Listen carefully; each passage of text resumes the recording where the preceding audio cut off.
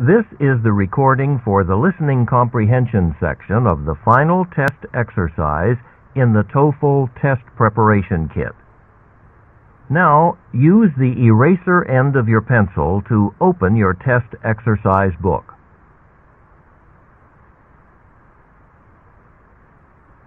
Read the directions for section 1 in your book as you listen to the directions on this recording. Do not read ahead or turn the pages until you are told to do so. Test exercise. Section 1. Listening Comprehension. In this section of the test, you will have an opportunity to demonstrate your ability to understand conversations and talks in English. There are three parts to this section, with special directions for each part. Answer all the questions on the basis of what is stated or implied by the speakers in this test. Do not take notes or write in your test book at any time.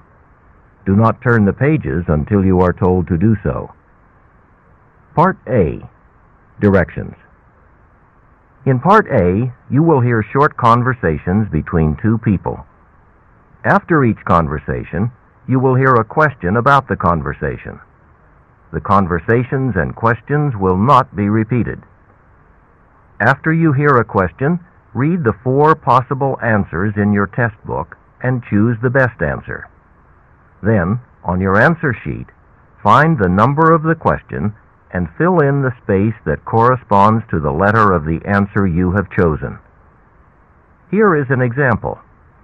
On the recording, you hear, I don't like this painting very much. Neither do I. What does the man mean? In your test book, you read A. He doesn't like the painting either. B. He doesn't know how to paint. C. He doesn't have any paintings. D. He doesn't know what to do. You learn from the conversation that neither the man nor the woman likes the painting. The best answer to the question, What does the man mean? is A. He doesn't like the painting either. Therefore, the correct choice is A. Go on to the next page.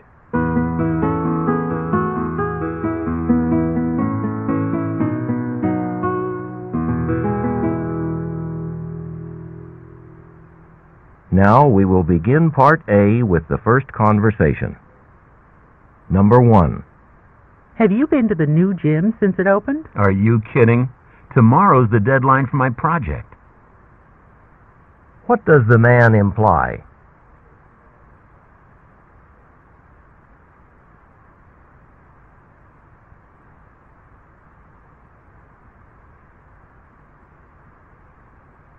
Number two.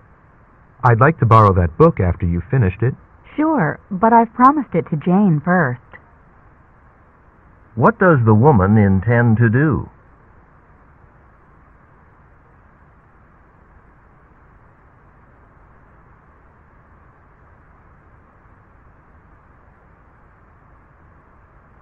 Number three. I could really use more room. My apartment is so small, and there's no closet space. You should see the apartments in my building. You know, one of my neighbors is moving out. Come by and I'll bring you to his place. What does the man imply?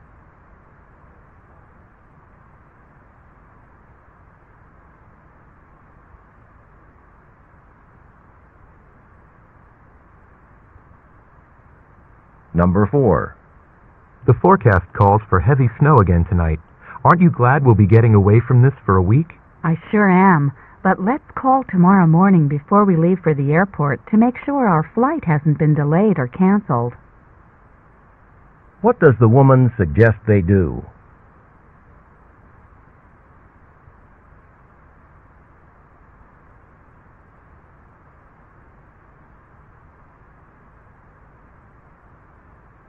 Number five. Has anyone turned in a brown leather wallet? Mine seems to be lost, and it has my driver's license in it, and also some family pictures that are pretty important to me. Oh, I think one like that was brought in this morning. Wait here just a minute, please. What will the woman probably do?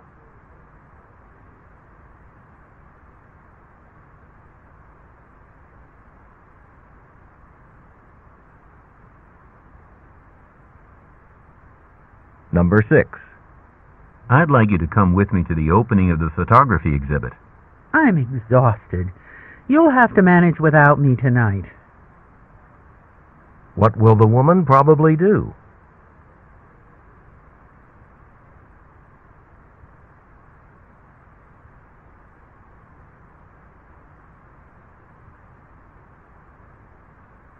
Number 7. Guess what I just heard? Dave's selling that car of his that you like so much. Oh, wow. I'll bet it's expensive, but it couldn't hurt to check it out. What will the man probably do?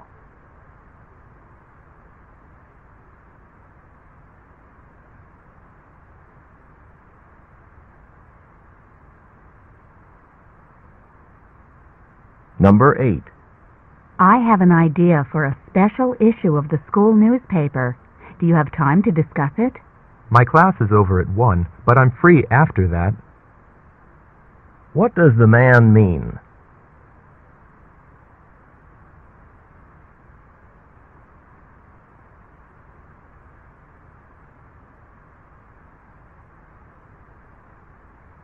Number 9. Did you return that book to the library for me? I don't want to pay a fine. Don't worry about it. I took care of it. What does the man mean?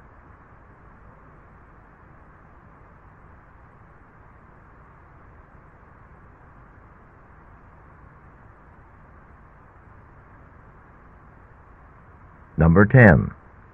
I'm really sorry I missed the pop art exhibit at the museum. You might try to catch it when it opens in New York next month. What does the woman suggest the man do?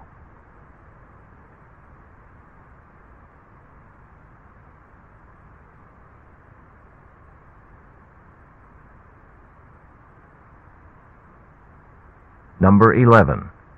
Wasn't there once a bakery here? Yes, but it went out of business last year. What does the woman mean?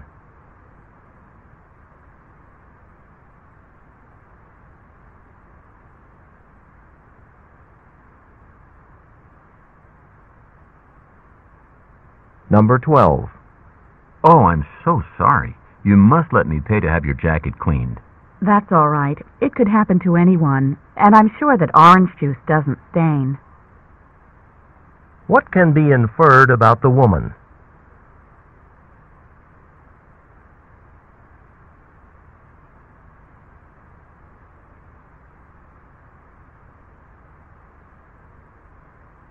Number 13.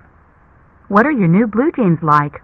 Oh, they're pretty much like the other ones, except with a larger waist. I guess I don't have much time to exercise these days. What can be inferred about the man?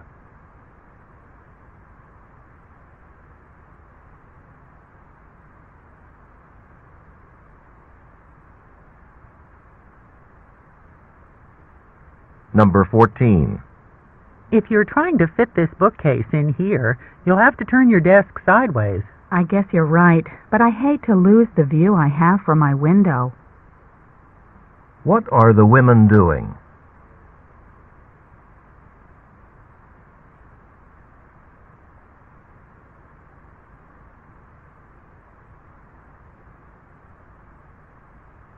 Number 15.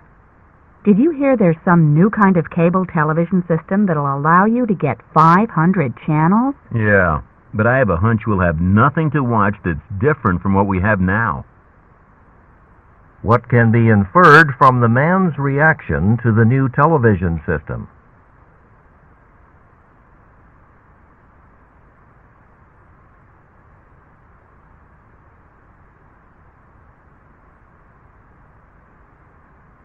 Number 16.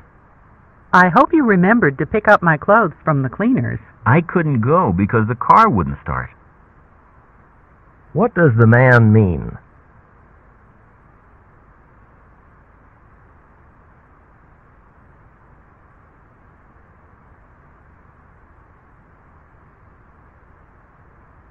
Number 17. I must have told Mike five times not to forget the meeting, and he still missed it. Well, you know Mike. Everything's in one ear and out the other. What can be inferred about Mike?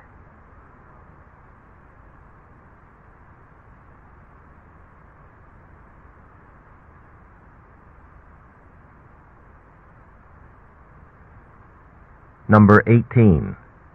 Have you seen John since he started wearing contact lenses? I almost didn't recognize him at first. What does the woman mean?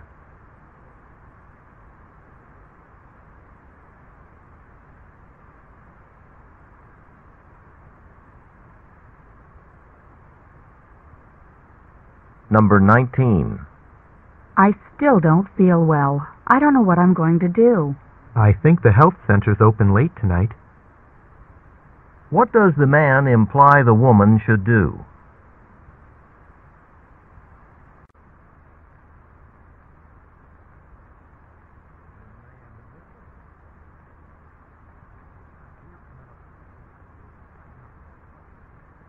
Number 20.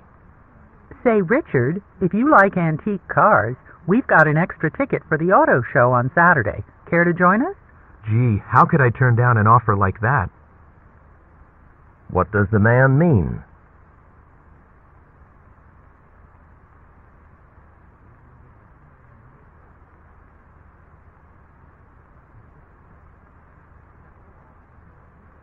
Go on to the next page.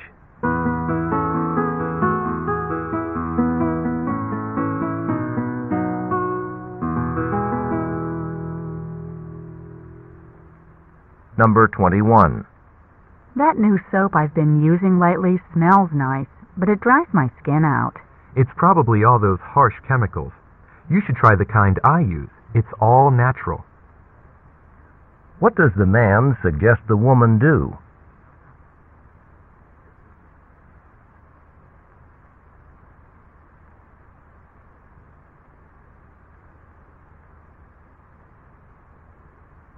Number 22.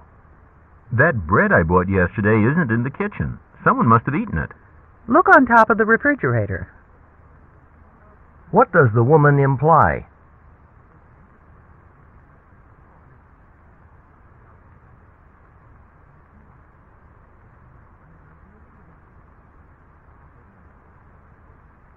Number 23. Can you believe this great gift Sharon sent you? I know. She really has a heart of gold. What can be inferred about Sharon?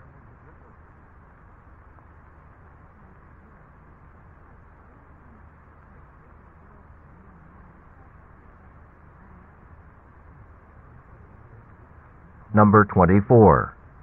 I heard you auditioned for the chorus. How'd it go? Oh, well, the director has pretty high standards. I guess I just didn't measure up. What can be inferred about the man?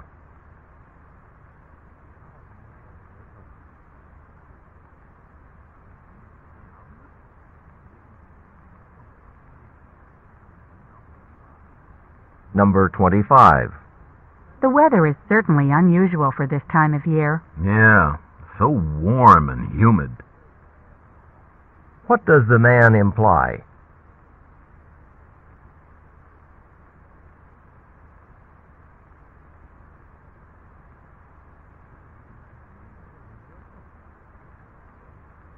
Number 26. Basketball practice doesn't take a lot of time, does it? Only every spare minute. What does the man imply about basketball practice?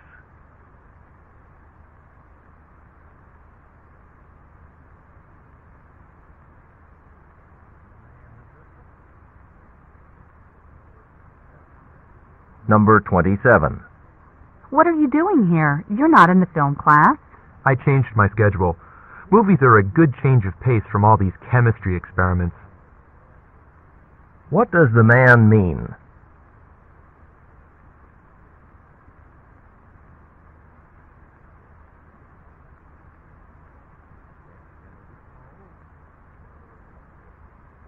Number 28.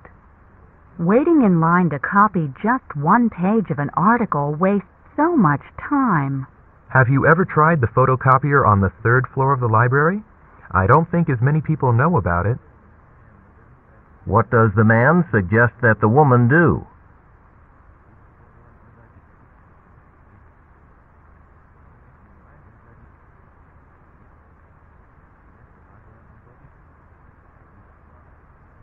Number 29. With all of these typos in this resume, you're not going to make a very good impression. Good thing it's on the word processor. What will the man probably do?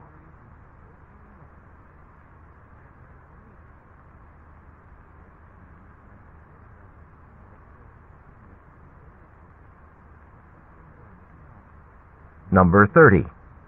I have two exams and three papers to get done in the next couple of days. How'd you get so backed up? What does the woman imply about the man?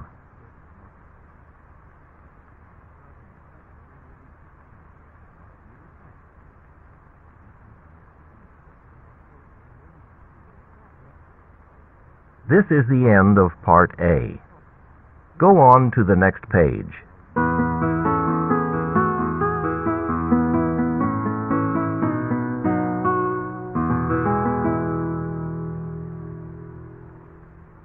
Now read along as the directions for Part B are being read. Part B Directions. In this part of the test, you will hear longer conversations. After each conversation, you will hear several questions. The conversations and questions will not be repeated. After you hear a question, read the four possible answers in your test book and choose the best answer. Then, on your answer sheet, find the number of the question and fill in the space that corresponds to the letter of the answer you have chosen. Remember, you should not take notes or write on your test pages. Go on to the next page.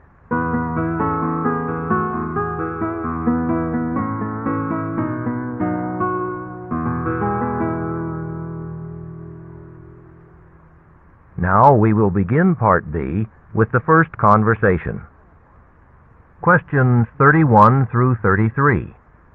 Listen to a radio interview with the artistic director of a dance company. Today's arts report features Dan Parker of the American Indian Dance Theater. Mr. Parker, I understand your troupe performs traditional music and dance from many different Native American cultures. Can you give us an idea of some of the dances you'll be doing in your performance tonight? Certainly. We'll be doing one that's a war dance. Originally, it was a storytelling device to recount battles. Another is the grass dance, performed by the Plains Indians, where they actually flatten tall field grass to prepare it for a ceremony. Since your dancers are from many different tribes, how can you be sure the dances are done correctly? Everything we do has been approved by the elders of our tribes. That's partly because we don't necessarily know each other's styles or dances. But it's also because it's hard to get complete agreement, even within the same tribe, about exactly how the dance should be done. Anyone who attends one of your performances will notice that your company goes to a lot of trouble to provide detailed explanations of the origin of the dances, the music, the costumes, and so forth. Could you explain to our listeners why you do this? Good question. There are always concerns that traditional dances performed in a theater are nothing more than a spectacle. Our explanations show that in our cultures, dance is ritual rather than entertainment. We also want to make it clear to our audience that we are not performing any dances used for sacred ceremonies. Number 31. What is the main topic of the conversation?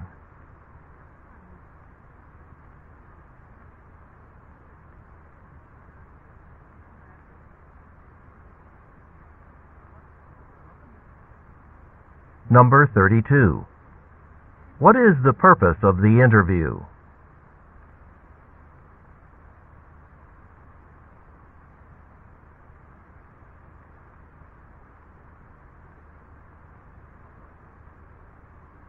Number 33. Why are the dances approved by the elders of the tribes?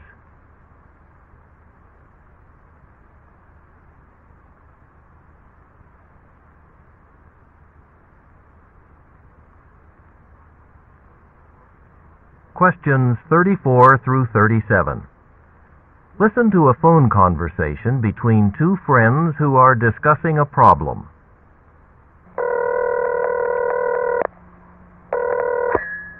Hello? Hello, Sam. This is Paula Hanson. Sorry to bother you, but I'm having a small problem I thought you might be able to help me with. Sure, Paula. What's up? Well, you know Sarah and I moved into an off-campus apartment in the fall, over on the west side of town. Anyway, we've been happy with it until the past couple of months. Yeah? What happened? Well, the dishwasher broke down. So we reported it to Ms. Connors, the owner. She said she'd take care of it, but a month went by and nothing happened. Did you get back in touch with her? I got a repair person to give me an estimate. Then I sent it to her. When I didn't hear from her, I had the repair done. And I deducted the cost from the rent check. So what's the problem? She called here mad as a hornet. She said she could have gotten the repair done for less money. Now she's threatening to evict us for not paying the full rent. Hold on, Paula. It does sound pretty serious, but I'm sure you can all sit down and work this out. Well, you're over at the law school, so I wondered if you would mind coming with Sarah and me when we go to talk to Ms. Connors. We're supposed to meet with her tomorrow night at 8. Sure. I haven't studied a lot about contracts yet, but I'd be glad to help you straighten things out. Why don't I stop by about 7:30? Thanks, Sam. You're a lifesaver. Number 34. Why is Paula unhappy?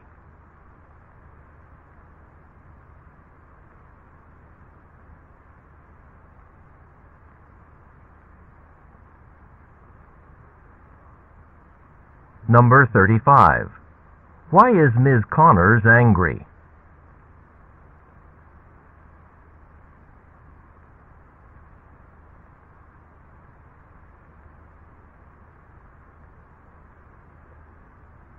Number 36. What are Paula and her roommate planning to do?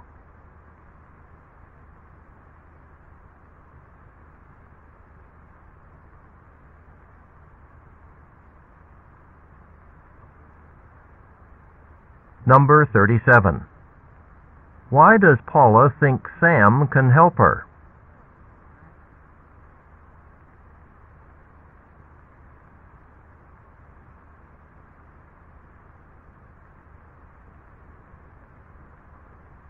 This is the end of Part B.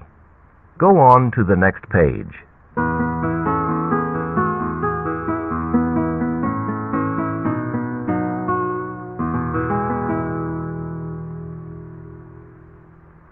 Now read along as the directions for Part C are being read. Part C Directions. In this part of the test, you will hear several short talks. After each talk, you will hear some questions. The talks and the questions will not be repeated.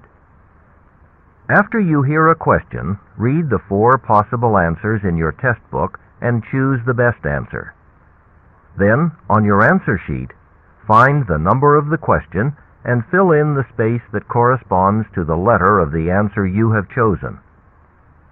Here is an example. On the recording, you hear Listen to an instructor talk to his class about a television program. I'd like to tell you about an interesting TV program that'll be shown this coming Thursday. It'll be on from 9 to 10 p.m. on Channel 4. It's part of a series called Mysteries of Human Biology. The subject of the program is the human brain, how it functions and how it can malfunction. Topics that will be covered are dreams, memory, and depression. These topics are illustrated with outstanding computer animation that makes the explanations easy to follow. Make an effort to see this show. Since we've been studying the nervous system in class, I know you'll find it very helpful. Now listen to a sample question. What is the main purpose of the program? In your test book, you read A. To demonstrate the latest use of computer graphics. B.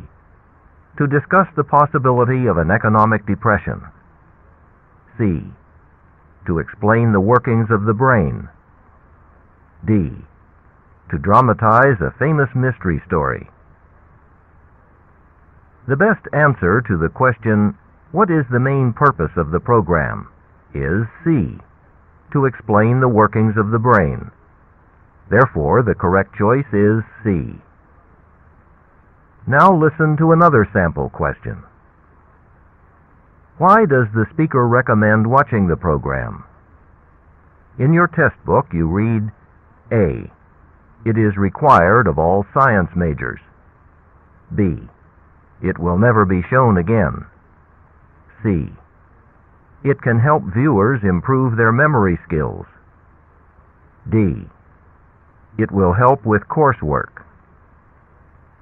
The best answer to the question, why does the speaker recommend watching the program, is D.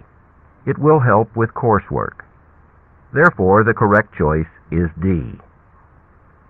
Remember, you should not take notes or write on your test pages.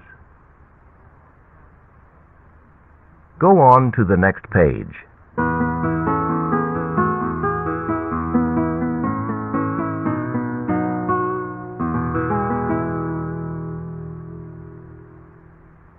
Now we will begin Part C with the first talk. Questions 38 through 42. Listen to part of a lecture in speech class. Today we're going to practice evaluating the main tool used when addressing groups, the voice.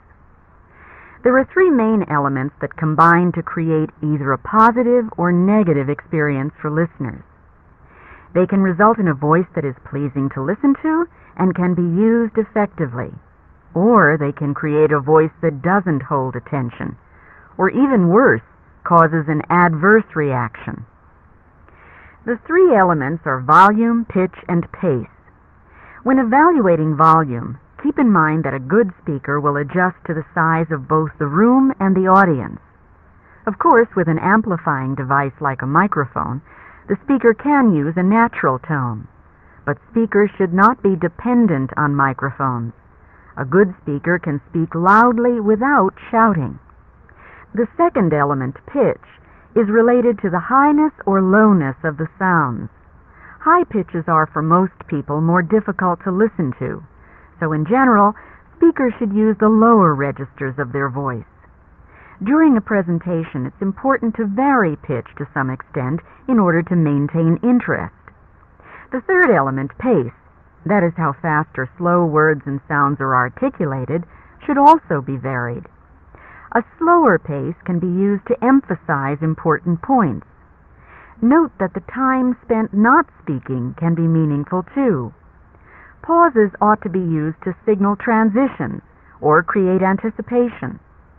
Because a pause gives the listener time to think about what was just said, or even to predict what might come next, it can be very effective when moving from one topic to another. What I'd like you to do now is watch and listen to a videotape and use the forms I gave you to rate the speaking voices you hear. Then tonight, I want you to go home and read a passage into a tape recorder and evaluate your own voice. Number 38. What is the main point the professor makes?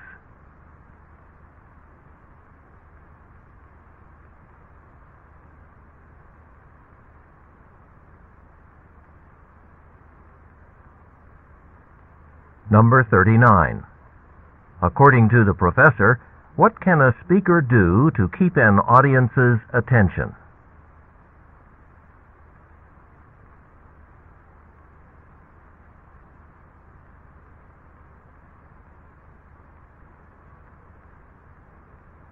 Number 40. What recommendation does the professor make about volume?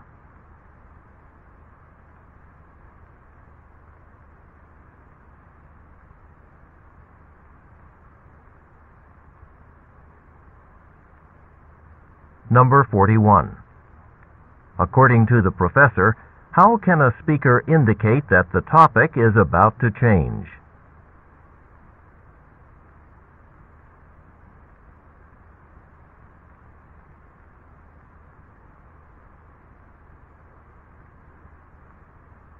Number 42. What are the students going to use a tape recorder for?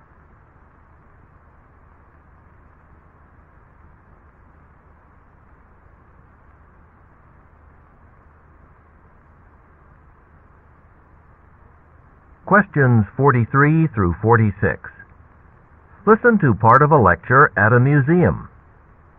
Let's proceed to the main exhibit hall and look at some of the actual vehicles that have played a prominent role in speeding up mail delivery. Consider how long it used to take to send a letter across a relatively short distance. Back in the 1600s, it took two weeks on horseback to get a letter from Boston to New York, a distance of about 260 miles. Crossing a river was also a challenge. Ferry service was so irregular that a carrier would sometimes wait hours just to catch a ferry. For journeys inland, there was always the stagecoach, but the ride was by no means comfortable because it had to be shared with other passengers. The post office was pretty ingenious about some routes. In the 19th century, in the southwestern desert, for instance, camels were brought in to help get the mail through. In Alaska, reindeer were used. This practice was discontinued because of the disagreeable temperament of these animals. We'll stop here a minute so that you can enter this replica of a railway mail car.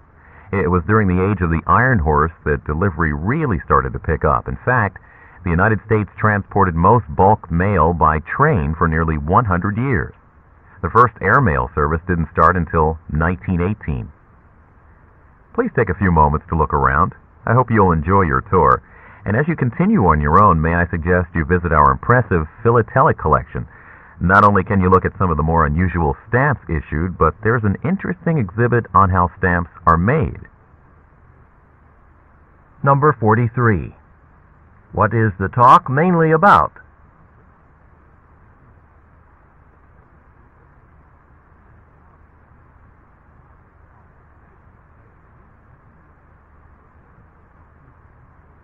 Number 44. According to the speaker, why was it a problem for mail carriers to cross rivers in the 1600s?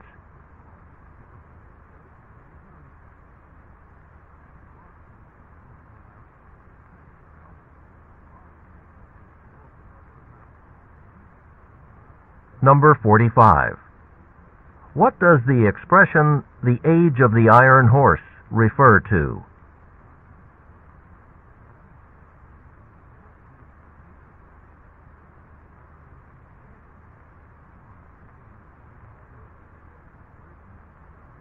Number 46. What can be found in the museum's philatelic collection?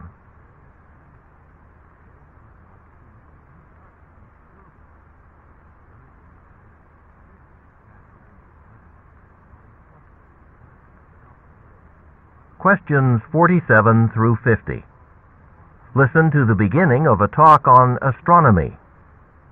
Most people think of astronomers as people who spend their time in cold observatories peering through telescopes every night. In fact, a typical astronomer spends most of his or her time analyzing data and may only be at the telescope a few weeks of the year. Some astronomers work on purely theoretical problems and never use a telescope at all. You might not know how rarely images are viewed directly through telescopes. The most common way to observe the skies is to photograph them. The process is very simple. First, a photographic plate is coated with a light-sensitive material. The plate is positioned so that the image received by the telescope is recorded on it. Then the image can be developed, enlarged, and published so that many people can study it.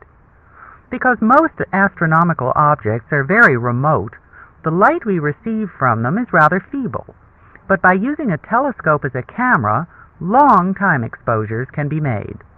In this way, objects can be photographed that are a hundred times too faint to be seen by just looking through a telescope. Number 47. According to the speaker, what do people often think about astronomers?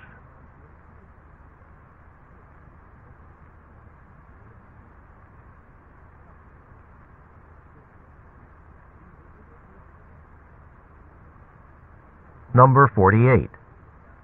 What is one advantage of photographing the skies?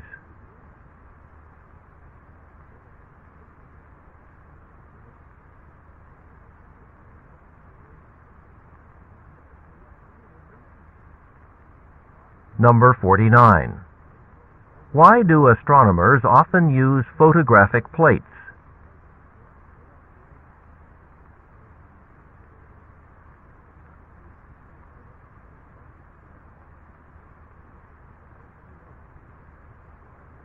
Number 50.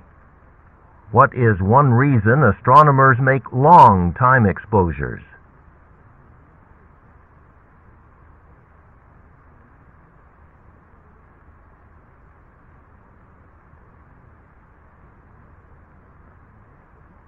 This is the end of section 1. Turn off your cassette player. Set your clock for 25 minutes and begin work on section 2.